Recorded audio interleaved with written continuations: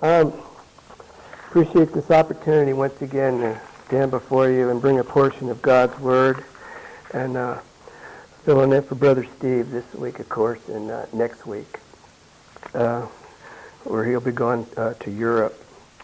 And I believe he's starting in the book of Joel a couple weeks from now. So um, I'd like to speak this morning on born again. So if you open up your Bibles to John chapter 3, we're going to look at some uh, language that God has there for us.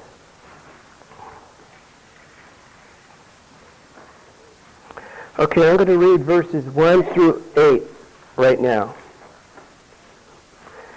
John chapter 3, it says, There was a man of the Pharisees named Nicodemus, a ruler of the Jews. The same came to Jesus by night and said unto him, Rabbi, we know that thou art a teacher come from God. For no man can do these miracles that thou doest except God be with him. And Jesus answered and said unto him, Verily, verily, I say unto thee, except a man be born again, he cannot see the kingdom of God. And Nicodemus said unto him, How can a man be born when he is old? Can he enter the second time in his mother's womb and be born? And Jesus answered, Verily, verily, I say unto thee, except a man be born of water and of the Spirit, he cannot enter the kingdom of God. That which is born of flesh is flesh, and that which is born of the Spirit is spirit. Marvel not that I said unto thee, Ye must be born again. The wind bloweth where it listeneth, and thou hearest the sound thereof, but canst not tell when it cometh and whither it goeth. So is everyone that is born of the Spirit. Now, I want to start by first bringing out um, this this term born again. And I looked in the Greek here, in my concordance, and this word in John chapter 3, verse 3, where the Lord Jesus says, you must be born again. That word born in the Greek means to procreate, regenerate, birth, bring forth. It's used in a physical sense and as well as a spiritual sense. And I'll show you examples from the scriptures. Let's look at the physical sense.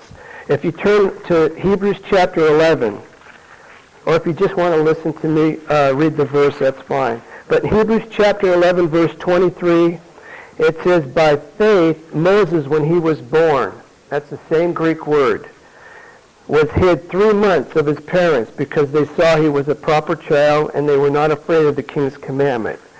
So there's a physical sense. In Romans chapter 9,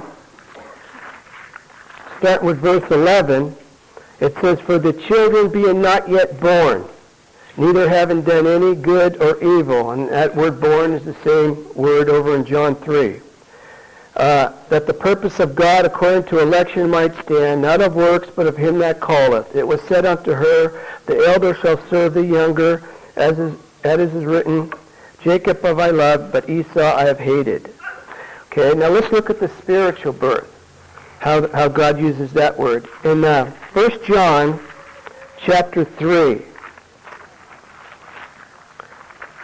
1 John chapter 3 and verse 9, same Greek word, it says, Whosoever is born of God doth not commit sin, for his seed remaineth in him and he cannot sin because he is born of God. So there you have the spiritual birth, and it's the same Greek word applied to physical and spiritual. Also in John chapter, 1 John chapter 5, verse 1, Whosoever believeth that Jesus Christ is born of God, and everyone that loveth him, that begat, loveth him also that is begotten of him. And then also in verse 4, Whatsoever is born of God overcometh the world, this is the victory that overcometh the world, even our faith. So there's two examples of the physical and the spiritual birth. Now going back to John 3, this word again in the Greek means from above, upward, or above. So born from above, in other words. It's the same word if you look over in John chapter 3, verse 31. It's the same word translated uh, above there. That word again in John 3, 3, it's translated above in John 3.31. He that cometh from above is above all. he that is of the earth is earthly, and speaketh of the earth. He that cometh from heaven is above all. Okay? So we have an example right there of what these Greek words mean in the scriptures. Now the physical birth and the spiritual birth is all the works of God. Okay? And we're going to look at these things. Now, one thing I found in scripture that we, um, some things we can't understand fully. And this is one of them, the, spir- the spiritual birth and the physical birth. And if you go to Ecclesiastes, we don't know who God's elect are, and we sure don't know how everything's formed in the womb of a, of a woman. And, uh, and that's exactly what Ecclesiastes chapter 11, verse 5 teaches. It says, As thou knowest not what is the way of the Spirit, nor how the bones do grow in the womb of her that is with child, even so thou knowest not the works of God who maketh all. So there's some things that uh, that God keeps us. Uh, of course, we can't say, "Hey, there's one of God's elect. Let's go bring the gospel to him," or something like that. See, and and we just don't know these things. But um, uh, in Deuteronomy 29 and 29, I'll read this verse.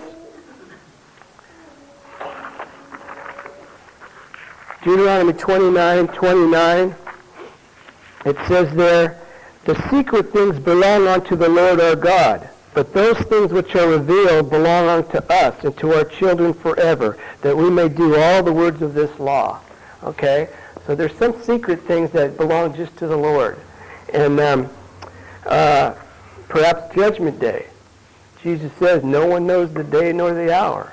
And, and, and yet, you know, um, that could be one of them.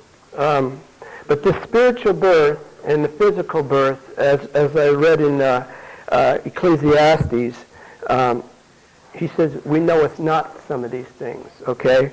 So with that in mind also, let's, I want to bring out a contrast now between the physical birth and the spiritual birth. And it'll give us some insight into the nature of salvation. Okay, so we're going to first look at some language that God uses on the physical birth.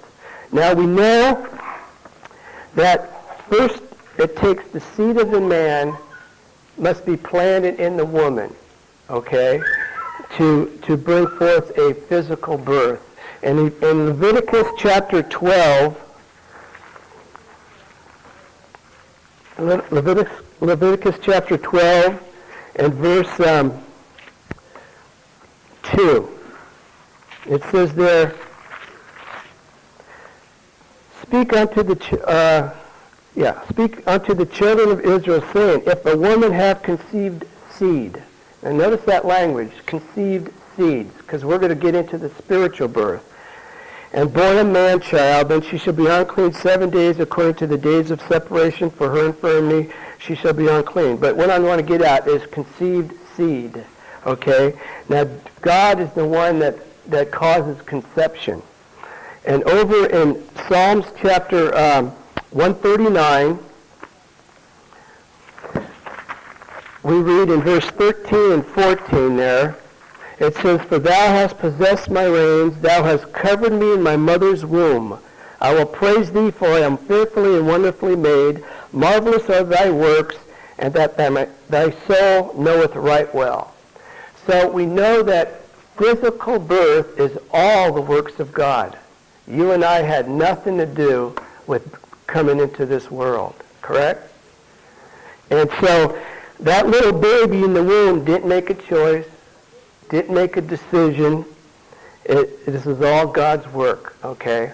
And so now, that's the physical birth. So we're going to parallel this with the spiritual birth. Just keep in mind, that little baby had nothing to do with being born. It took the seed to be implanted in the woman, implanted in the woman, and God causing conception and bringing forth the child, okay? So going back to chapter 3 of the Gospel of John, we're going to we're going to look at this um, spiritual birth, or actually um, the spiritual application of, of the scriptures.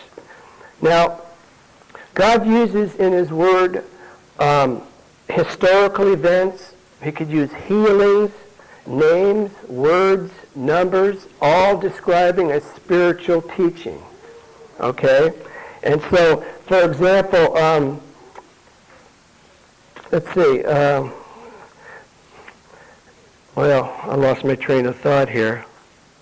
I've got so much writing here, I can't even read my own writing.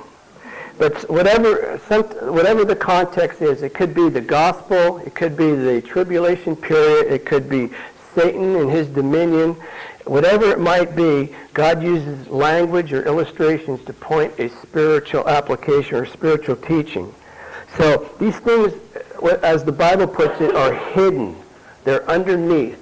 Okay? And, and we have to dig. We have to search the scriptures, compare spiritual with spiritual, and, and God, the Holy Spirit, reveals these truths to us. So going back to uh, John 3 in verse 1, we're going to look at this spiritual application or spiritual teaching that comes forth from these verses. In John chapter uh, 3, verse 1, it says, There was a man of the Pharisees named Nicodemus, a ruler of the Jews. Now, this word in the Greek, Nicodemus, means victorious or victory. And it's derived from same, the same word found over in 1 Corinthians 50, uh, 15, verse 55, where it says, So when this, um, O death, where is thy sting? O grave, where is thy victory? The sting of death is sin. The strength of sin is the law. But thanks be to God which giveth us victory through our Lord Jesus Christ. It's derived from that same word as Nicodemus. So Nicodemus means victorious or victory. And we're going to see here this language that God has for us. Some of the questions that are asked here and how God, the Lord Jesus, responded to these questions. Okay? First of all, also, uh, not only we brought out the Greek of Nicodemus, but look at verse 2. The same came to Jesus by night. Now, why is God telling us this man came to Jesus by night? Now, perhaps in that day it could have been the, the fear of the Jews, his peers, or whatever. But comparing spiritual with spiritual, we're going to look at this, this, this night, why he came at night. And this word, um, where it says he came to Jesus, is the same Greek word in John 6:44 where where the Bible says no man could come to me. This word came is the same Greek word come. No man could come to me except the Father which has sent me draw him, and I will raise him up on the last day. So here we have Nicodemus came to Jesus by night. Now, in the scriptures, the night, as Brother Tom was bringing out, the, the dominion of darkness, night is a, is a, uh, a picture or a type of Satan's dominion. And this is where we're at before we're born again. We are in darkness. We are, we are children of the night, so to speak, okay? And I'll give you some biblical uh, examples here. If you go to John chapter 11, and we're going to look at this, this night or darkness. In John chapter 11, verse 9 and 10 there, it says, And Jesus answered, Are there not twelve hours in the day? If anyone walk in the day, he stumbleth not, because he seeth the light of this world. But if a man walk in the night, he stumbleth, because there is no light in him. Okay? And then also in um, 1 Thessalonians chapter 5, it says, it says in verse 4 and 5, it says, uh, But ye, brethren, are not in the darkness, that that day should overtake you as a thief. Ye are all children of light and the children of the day. We are not of the night, nor of darkness. You see the contrast there? So everybody before we're born again is in Satan's kingdom is in the dominion of darkness. And that's why uh, what Brother Tom read in Colossians 1.13, it says, um, we are translated. It says, whom have delivered us from the power of darkness and has translated us into the kingdom of his dear Son. Okay? So Nicodemus comes to the Lord Jesus at night. And the word, no man can come to me unless the Father draw him. Okay? So keep all this in mind. We're looking at the spiritual teaching, the, the, gospel that perhaps is shining through these verses as, as we compare spiritual things with spiritual. Now, in verse, uh, uh, and perhaps, uh, you know, later on, Nicodemus, uh, it appears that he became born again. When you read John chapter 7 and John chapter 9, the language there uh, really, as you compare spiritual, really shows that Nicodemus became a child of God. But, and especially here with some of this language. But now, in verse uh, 2, Let's read this again. It says, And the same came to Jesus by night and said unto him, Rabbi, we know that thou art a teacher come from God. For no man could do these miracles that thou doest, except God be with him. And Jesus answered and said unto him, Verily, verily, I say unto thee, except a man be born again, he cannot see the kingdom of God. Now, did not, in verse 2, do you read that? Why did Jesus answer him this way? He, he just said, Rabbi, we know that thou art a teacher come from God. For no man can do these miracles that doest except God be with them. And, and the Lord Jesus says, you, you got to be born again. Verily, verily, I say to you, you must be born again. You cannot see the kingdom of God. And I was praying, Lord, what is, you know, what does that mean? Why did the, why did you answer him that way? And, uh, and as I did my word study, I thought, there it is right there. This word in John chapter 3 and verse 3, this word see in the Greek, it means to know, perceive, understand. It's the same Greek word in John chapter 2 where Nicodemus says, we know. And Jesus is saying, you don't understand. You don't know. You must be born again in order for you to know. And that's why the Lord uh, answered him this way. And he's saying, yeah, we know. It's no different than somebody if we know that they have a false gospel and they're saying they're saved, you see. And, and we just say, no, we need to be born again. It's similar to that. He's saying he knows, but he doesn't. And he doesn't perceive, he doesn't understand the, the things. He's not, he has not entered the kingdom of God. He needs to be born again. And so um, this is why I believe uh, the scripture's teaching here that Jesus answered him this way. You, you must be born again or you, you, you can never understand the kingdom of God and uh, uh, perceive it or, um, or know it. And now, going on to verse um, 4, he makes, uh, Nicodemus said unto him, How can a man be born when he is old? Can he enter a second time in his mother's womb and be born?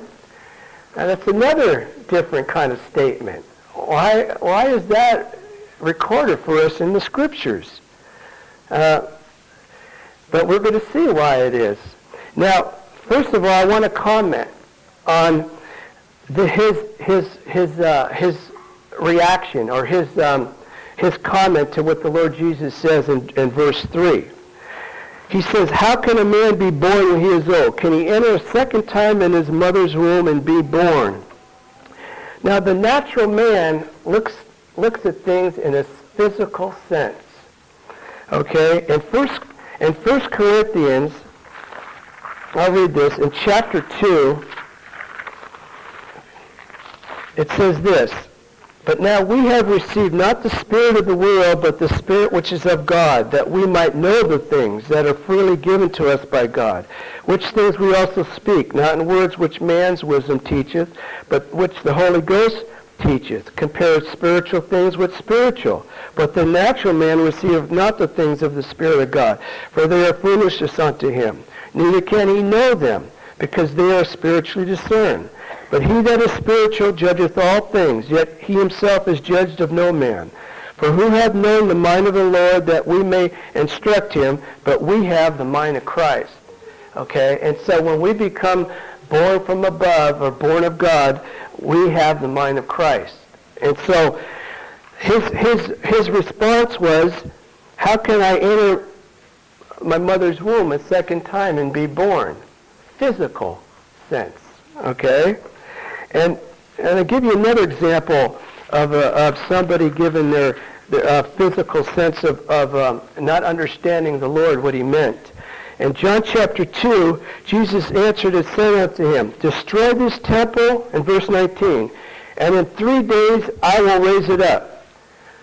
And the Jews said, Forty and six years was this temple in building, and will thou rear it up in three days? And he spoke of the temple of his body. You see how they, they used the physical? He thought it was a physical building, a temple. And then uh, I'll give you one more illustration. In John chapter 6, in verse 51, Jesus says, I am the living bread which came down from heaven. If any man eat of this bread, he shall live forever. And the bread that I will give is my flesh, which I will give for the life of the world. The Jews therefore strove among themselves, saying, How could this man give us his flesh to eat? See, there's another example that he thought it was his flesh. But if you look at uh, verse 63, it says, It is the Spirit that quickeneth, the flesh profiteth nothing. The words that I speak unto you, they are spirit and they are life. And so uh, it's no wonder, even today, how, how the physicalness, uh, in the physical sense, is brought out. Maybe there's the group of people that, that hold to a, a political kingdom in Jerusalem. Uh, the J- JWs, they hold to 144,000 literal people. Um, they take the thousand years as a literal, um, literal sense. And so this is all, the, the, these are all man's kind of uh, ideas, but not the mind of Christ. Okay? And so, um, but we're going to look at this, this, uh, this spiritual teaching now, what Nicodemus said. So, going back to John chapter 3, he says, uh, we're going to look at the second part. Can he enter the second time into his mother's womb? Okay, now we're talking about the new birth. We're talking about somebody being born from above.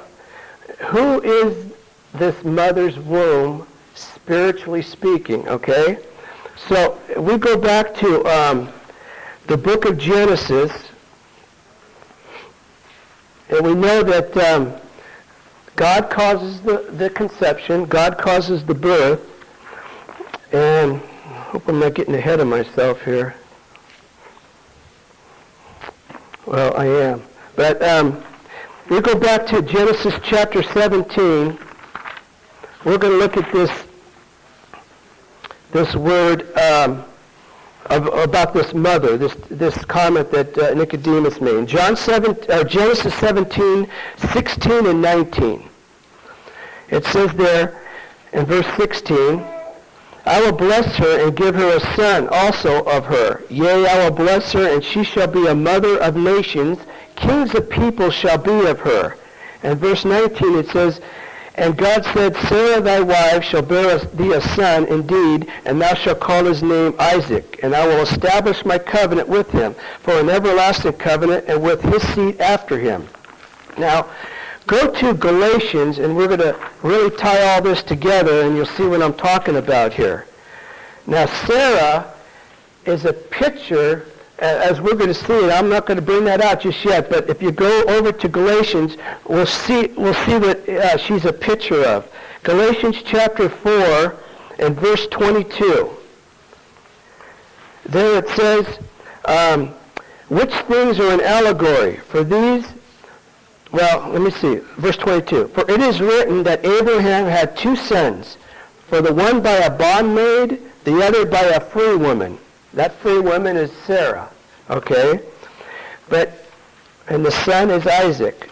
But he who was of the bondwoman was born after the flesh. But he of the free woman was by the promise, which things are an allegory. For these are two covenants the one from the Mount Sinai, which is generous to bondage, which is Agar. For this Agar is Mount Sinai in Arabia, and answereth to Jerusalem, which now is in bondage with her children. But Jerusalem, which is above, is free, which is the mother of us all. Okay?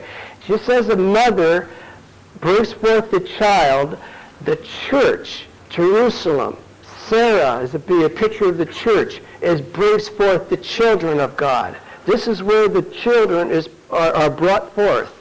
And uh, that's why it says here, but Jerusalem, which is above, is free, which is the mother of us all. Okay, now if you look up Jerusalem, in Revelation chapter 21, verse 9, it says, There came unto me one of the seven angels which had the seven vials full of the seven last plagues, and talked with me, saying, Come hither, I will show thee the bride, the Lamb's wife. And he carried me away in the Spirit to a great and high mountain, and showed me that great city, holy Jerusalem, descending out of heaven from God. So Jerusalem is the bride, the wife of the Lamb, the church and, we, and, and is the mother of us all. We come, we're born from our mother's womb through the, spiritually speaking, through the church. That's why it says Jerusalem is the mother of us all. Not only that, but uh, Peter um, says the same thing about uh, Sarah in verse um, 1 Peter 3 and verse 6 it says, Even Sarah obeyed Abraham, calling him Lord, whose daughters ye are, as long as you do well and not afraid with any amazement. And, and also, our Lord Jesus in Matthew chapter 12 um, speaks about this, about the mother. In, in, um, in verse 46, he says, While he yet talked to the people, behold, his mother and his brethren stood without, desiring to speak with him. Then one said unto him, Behold, thy mother and thy brethren stand without, de- desiring to speak with thee. And he answered and said unto him, and that told him, Who is my mother, and who are my brethren? And he stretched forth his hand toward his disciples, and said, Behold, my mother and my brethren. For whosoever shall do the will of my Father which is in heaven, the same as my brother, my sister, and my mother. Okay? It all ties together. So the church produces the children of God. God works through the seed of the gospel to bring forth every one of his elect. So Jerusalem is the mother of us all, the body of Christ, the bride of Christ. And it's and it just the same as the physical. It takes the seed of a man, enters is planted in the woman. God causes conception and brings forth the child. The seed of the gospel is planted into his elect. The woman produces the child because the gospel comes forth from the woman. Or uh, uh, the, uh, the children of God come forth from this woman. And um, that's why the, uh, the Lord Jesus, or uh, in 1 Peter chapter, um, chapter 1, Peter says this, he says um, in verse 23, he says, being born again, not of corruptible seed, but of incorruptible, by the word of God, which liveth and abideth forever. And then in chapter uh, 2, verse 2, he says, as newborn babes des- desire the sincere milk of the word that ye may grow thereby. So it's you have a beautiful picture of, of the physical birth and the spiritual. God does everything in the physical birth. He does everything in the spiritual birth. And so if you have any problem with how people become saved, you just think about the, the physical birth and ask yourself, what, what did you have to do with your physical birth? You see? Did you do anything at all? God caused the conception. He caused the birth. And so, but it took the seed. It takes the seed. And, and just in the same sense with the spiritual, it, God, you have to be born again, born from above. So it takes the gospel seed to enter an in, individual, and he, and he brings them into the kingdom of God. Okay? And so it's a beautiful contrast here. And that's why uh, Jesus say, that's what's born of flesh is flesh, that's which is born of spirit is spirit. You see? And so we must be born again to understand these things and to be born uh, to enter into the kingdom of God. And so um, there's many verses about this seed, and I just I read one in 1 Peter, and then I also read earlier. I'll read again in 1 John.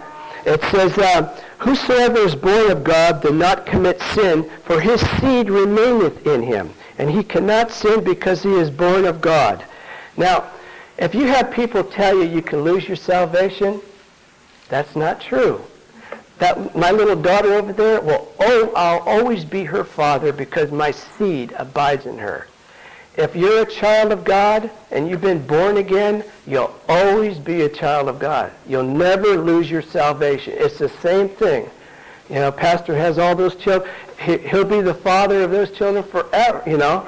Uh, he, he can't say that's not my child. He, that his seed abides in them. See? So when, our, when we've been born again from our Heavenly Father, from the seed of Christ, we cannot lose our salvation. It's, it's, it's a sure thing, and uh, we are a child of God. So um, I'll close there. Uh, there's a lot more to it. We'll try to work through these, uh, Lord willing, the, the rest of these uh, verses in John chapter 3. But, um, um, you know, verse, the verse that I read earlier about how the Holy Spirit teaches us all things. And, and I, you know, I, I, I don't have a big IQ and I can't even talk English that well. I mess it up. But I'm thankful that, that the Lord shows me things in, his, in the Word that uh, I can understand. So thank you.